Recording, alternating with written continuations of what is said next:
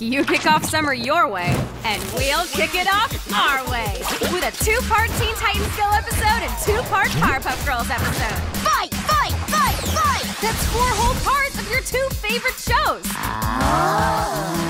So consider summer saved, thanks to the Powerpuff Girls Awesome! and Teen Titans. Oh, so good! It's an all-new two-part Powerpuff Girls followed by an all-new two-part Teen Titans Go. Monday, May 30th at 6. We're done for tonight. Unacceptable! Unacceptable! Too bad. Good night.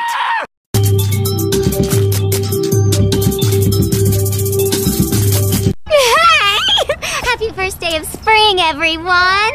Here's one for you, and you, Happy. Your revealing attire is as disrespectful as your eye contact.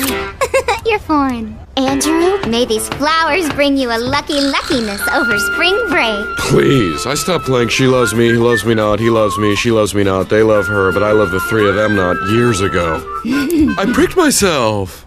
I pricked myself not. Wow, the last time I got a flower as a gift, I,